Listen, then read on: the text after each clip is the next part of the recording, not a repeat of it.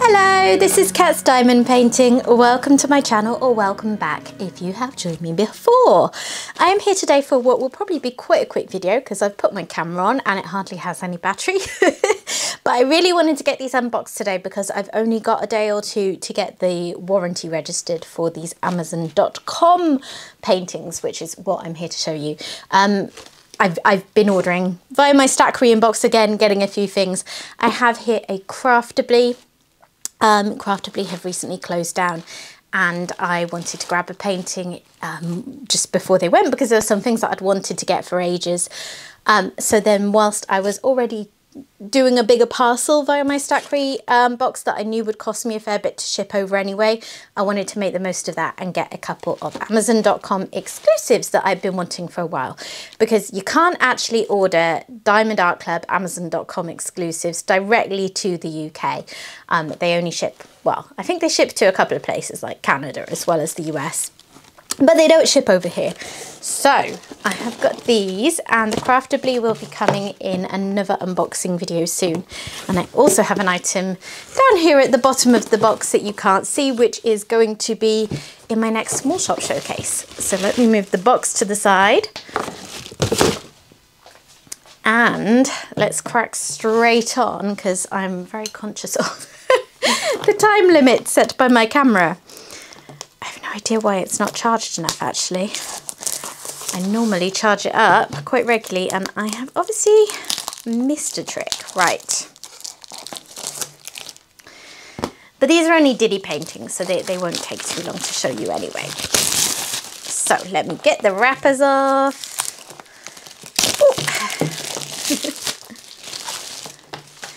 and here they are. So I have Huggable by Randal Spangler.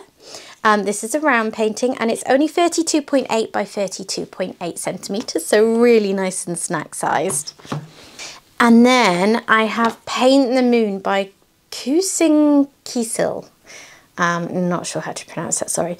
This is 33 by 46 centimetres, so I think it's the same size as the Starry Night one that I did quite recently and showed in a post-review video. Um, and I've wanted this one for ages. Whereas this one, there, there were quite a few that I was choosing between and I wasn't sure which one to get and I ended up plumping for this one. So, this little square kit is just, yeah, I really enjoyed the snack size square kit um, well, kits really that I've done recently. And a lot of the Amazon.com exclusives that Diamond Art Club offers, whoops, I've had a slight toolkit malfunction there, um, tend to be a little bit, um, no, not a little bit, they tend to be completely round drills. um, I'm not sure why. I think because maybe they are trying to get kind of people who aren't familiar with diamond painting, that kind of thing is their target market on, on Amazon. Um, you know, just like getting them interested in the craft because they might come across them browsing on Amazon. And, and rounds sort of seen as the sort of the easier thing to start with, isn't it? But I love the snack size squares because, yeah, you just don't get a huge amount of them. And the thing is, rounds do give you less detail for the same size. So it's really limited what things they can render in snack size in round. Anyway, I'm waffling. If you buy from Amazon.com, just be aware um, that Diamond Art Club do still give you a warranty, but you do have to register it separately, which is why I wanted to make sure I got this open because I need to register within 30 days of purchase and that's almost up. So I will take a very quick pick, quick, quick pick, a, a very quick peek at the toolkit I was so conscious of my battery ticking down. It's kind of freaking me out. so um, I got some pink washi tape. I got a macaron cover minder, a nice pink pen and squishy, some baggies of course, a four and a seven placer, and a little pot with two plates of heart-shaped pink wax. And one of these trays, so this one um, When they first switched to these toolkits, they did these trays and then they switched to white ones. So yeah, I haven't had one of these for a while. Right, let me try and get these things put away and get into the painting because that is what I want to look at most.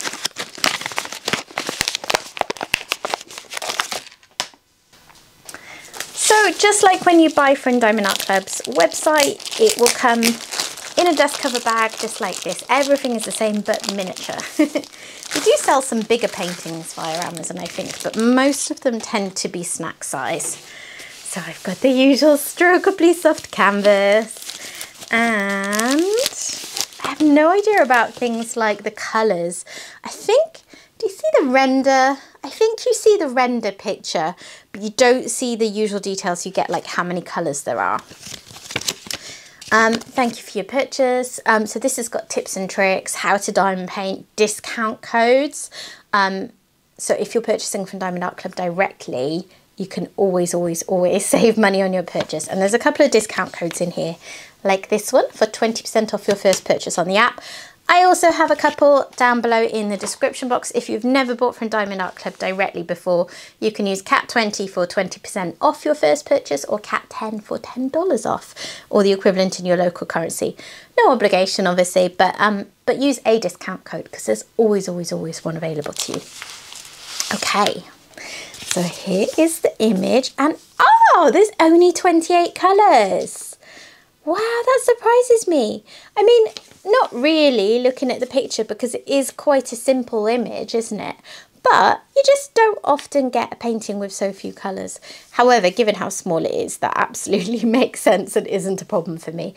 I don't like doing large paintings with not many colours because I get a bit bored. With a small one, that isn't going to be a problem.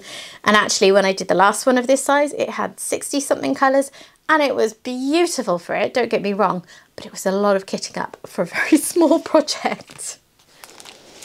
So the colours, as you can imagine, are just predominantly like blues and purples.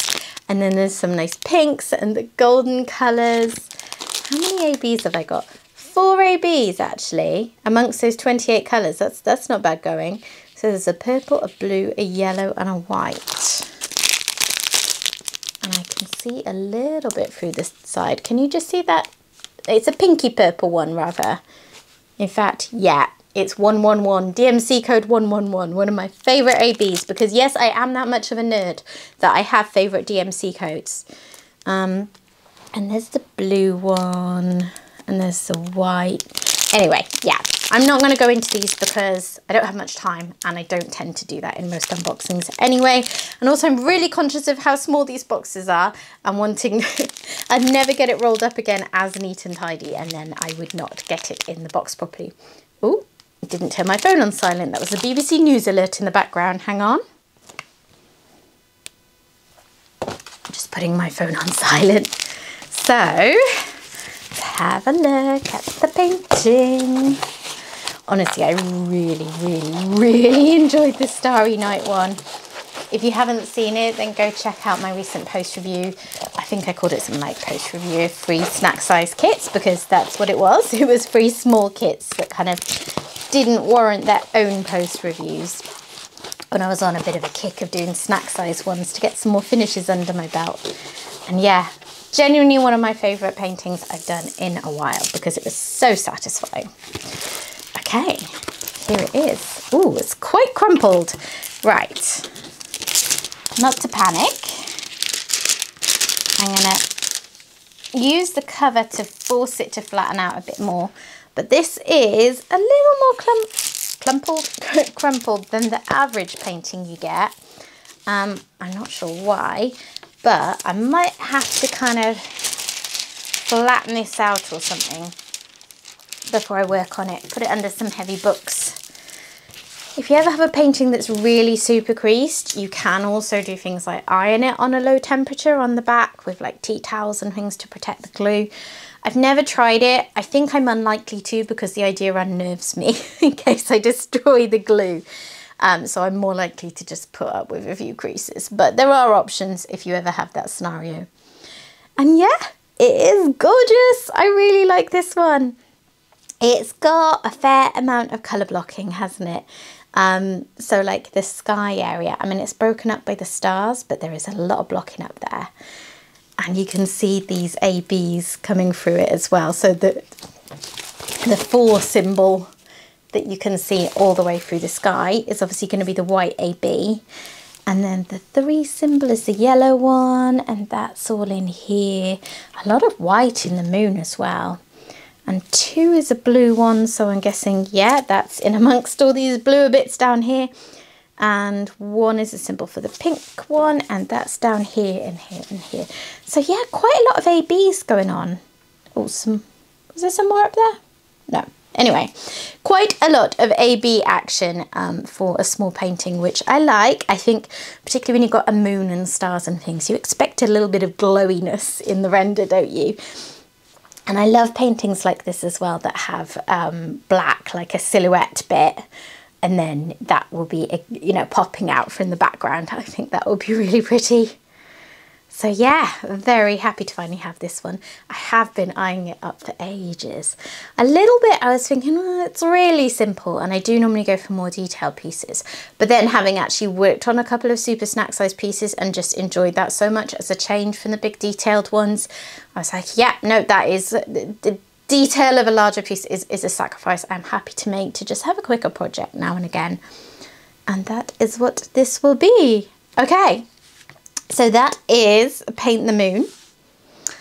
And I'm going to roll that one up and quickly show you Huggable before my battery runs out.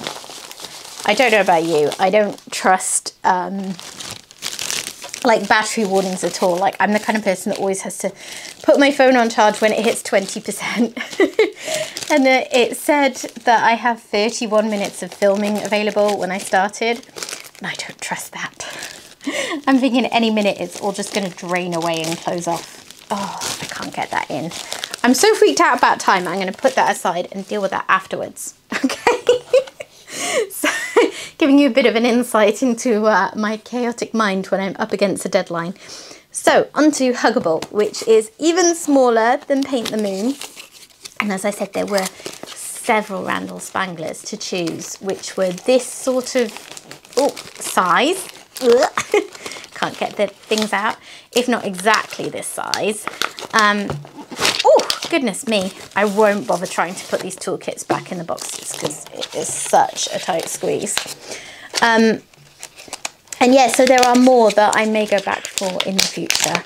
But these, this one and the one I have already, which is called, no idea what it's called, um, are, are very, very sweet.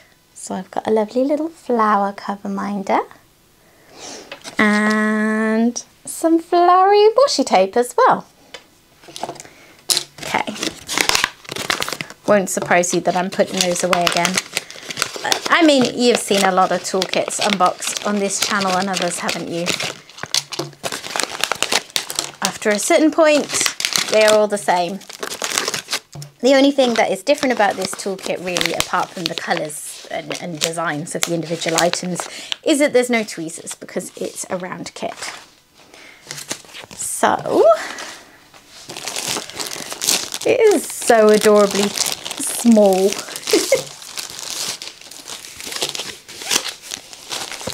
okay, so what have I got with this one? Ooh, more colours. Smaller painting, but more colours.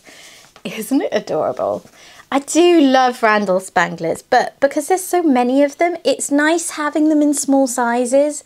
I mean, they lend themselves to it because they can be quite simple. Like the, this is a relatively simplistic design that you can see how they were able to render it small. Um, but also because I don't want to be working on them all the time. If I only had big ones, I wouldn't get through them. So this these small ones let me do a Randal Spangler, enjoy getting that, that hit of dragling cuteness um, without it taking forever.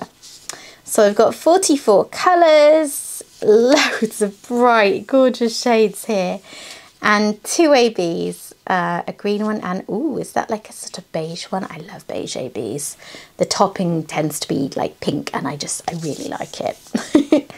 so, really bright, beautiful colours, lovely and clear symbols, just exactly what you'd expect from Diamond Art Club.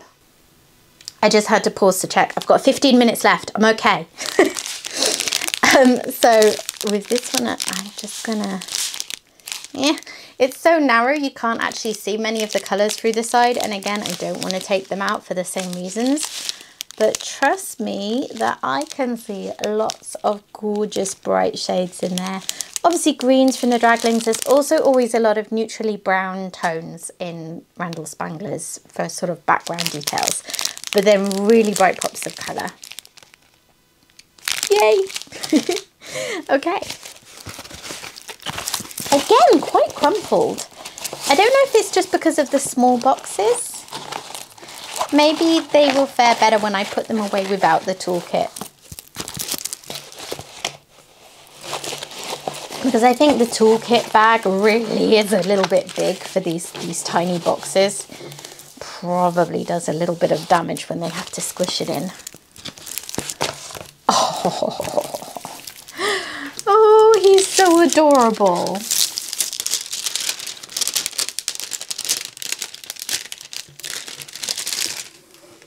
Just trying to do that as firmly as possible to smooth it out. I'm not sure it's made much difference.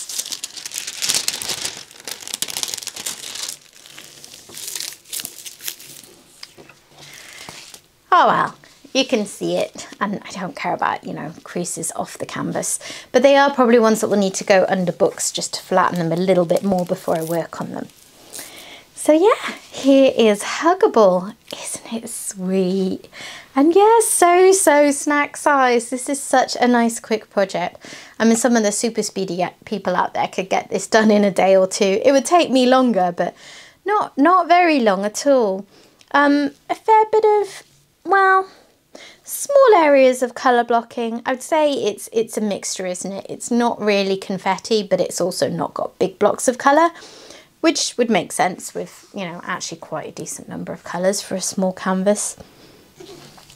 I love I love the cookie theme in Spanglers. So they the draglings, what these are, come from a land called Omlandia and they like to come through to our world to steal things like chocolate chips and cookies. So the, the paintings very frequently feature cookies and food and just other things like that. And what else is in this one? Because I, am not good at picking things out. So there's a tea bag and a cup and a spoon. So yeah. I wonder why. I guess it's just called huggable because he's reaching his arms out like he's been caught and saying, hi, hug me. and he is. He is very huggable.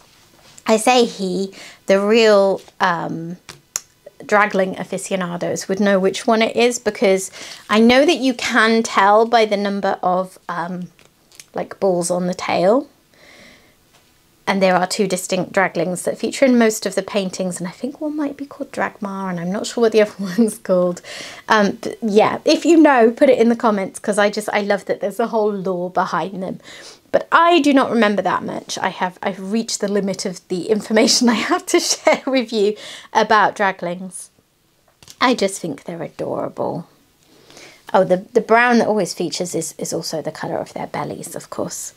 Um, so the ABs in this one, there is a pale green one, which I see dotted through the little dragling. And then two is the symbol for the other one and it's there's little lines of it around here but not very much of it so to contrast with Paint the Moon this one is pretty low on the ABs although of course if special drills are your jam and you pick up this painting you can always just switch them out um, I tend to just do paintings exactly as they're charted because I don't really have the, the creative mindset for doing anything that I think would improve them. So I tend to just go with the rendering as it is. But yeah, there's always that option. So there you go. There is Huggable and Paint the Moon.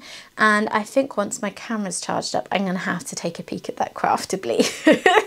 so that one's going to be coming soon too, um, because I'm, I'm excited about that one. Slightly disappointed because I should have had two, but the postal service uh, made an error and somehow destroyed the first order. Um, and by that point, the other one that I had ordered had gone out of stock. So Craftably very kindly sent me a replacement for the one they did still have and a refund for the other, which I felt really bad about because they're closing down and then my order has ended up costing them money. But um, yeah, I, I don't know how else you can resolve a situation like that really. Um, but anyway, I have one of them and I am excited to have a look at that. So thank you very much for having a look at these with me. If you have enjoyed what I've done here, please consider dropping a like on the video. Um, if you like what I've done here and you're not already a subscriber to the channel, please consider doing that and sticking around for more content. I don't normally talk quite this fast. I have been quite paranoid the whole way through about the, the, the video battery, the camera battery, as I've said. Um, but yeah, just don't be put off if, if I'm rabbiting on at high speed. That's not your thing. Um, yeah, and I will hopefully see you again soon. Bye bye.